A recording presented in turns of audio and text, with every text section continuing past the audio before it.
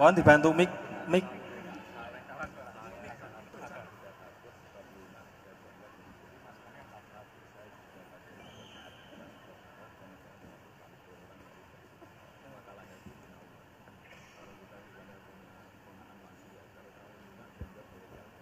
Assalamualaikum warahmatullahi wabarakatuh.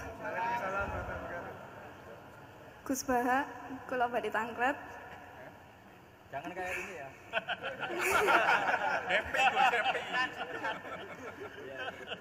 Untuk perempuan, hakikatnya menutup aurat niku pripun? So- soalnya kula gedeh teman niku rata-rata santri tapi kok mboten menutup aurat secara sempurna. Nah, kula pengen ngertos ilmune niku sing jelas pripun. Sampun.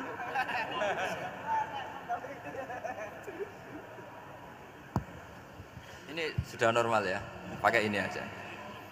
Ini jawab, jawab yang mbak dulu yang gampang gitu.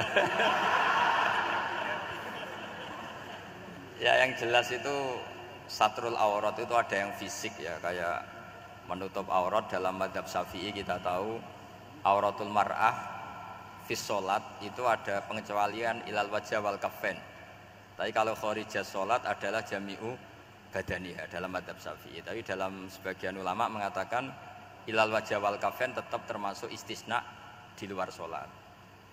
Itu dari segi fisik ya atau dohir. Tapi sebetulnya juga harus dilakukan satrul aurat secara maknawi. Menutup sesuatu yang buruk. Artinya kan gini ya aurat itu kan sesuatu yang buruk kalau kelihatan ya. sehingga misalnya kasus di beberapa negara mungkin fisiknya sudah benar ditutupin tapi mungkin tetap maksiat. Tapi ada yang gugat yang penting nggak maksiat meskipun buka aurat. Ya keliru buka aurat sendiri sudah maksiat itu malah aneh lagi gitu. tapi yang jelas filosofi hijab atau satrul aurah itu usahakan yang dohir maupun yang apa? Batin. Karena Indonesia itu memang agak unik.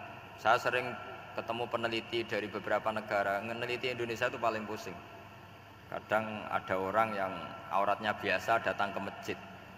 Itu kan bingungkan malaikat mau ditulis dosa itu ke masjid mau ditulis toat itu buka aurat. Tidak tahu hitung hitungannya gimana nanti. Tapi memang ya sudah seperti itu. Yang jelas standar aurat ya kita tutupin sesuai standar madhab syafi'i maupun mengikuti yang tidak apa syafi'i tapi filosofinya juga harus kita ikutin. Jadi dua-duanya harus kita ikutin. Sebagai perintah bukan sebagai syarat. Itu beda loh perintah sama syarat itu. Sebagai perintah bukan sebagai syarat. Kalau sebagai syarat itu begini syaratnya orang Islam tuh harus nutupi aurat begini-begini. Nanti kalau yang nggak gitu dianggap tidak Islam itu menjadi ekstrim. Tapi kalau sifatnya perintah ya perintah saja. Yang nggak melakukan paling banter dianggap fasikoh atau tidak solihah tapi tidak sampai menjadi keluar dari Islam.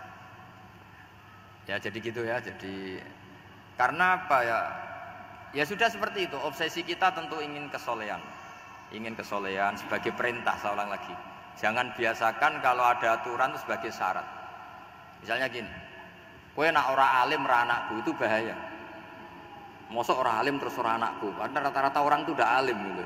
Nanti terputus dari bapaknya semua tapi hanya sifatnya perintah perintahnya seorang bapak ke kita supaya alim Makanya ulama mengatakan perintahnya Allah. Perintah itu lebih rileks daripada disebut syarat. Karena syarat sekali nggak memenuhi menjadi ndak. Makanya Said Muhammad kalau ngarang kitab sering wajibat itu lebih ringan ketimbang apa? Syarat. Jadi beda kalau dalam filosofi ilmu itu. Jadi gampang perintah. Tentu yang nggak melakukan perintah itu ya kurang baik, tapi tidak sampai keluar dari apa? Islam. Karena perilaku kesolehan itu perintah bukan syarat. Sehingga Nabi nanti ngendikan beberapa yang masyur itu kan syafaati li ahli kabair min um mati meskipun umatnya yang nggak benar ya tetap diaku sebagai umat. Jadi beda perintahnya Nabi sih semuanya kalau bisa soleh. Harus bisa soleh. Tapi tetap ini sifatnya perintah bukan syarat nggak bisa kamu mengatakan syaratnya orang Islam itu dalam beraurat begini, syaratnya soleh nggak pernah maksiat. Memangnya Nabi nggak pernah maksiat. Ya saya kira demikian ya, cukup ya. Ngawiti ingsun larasi iran kelawan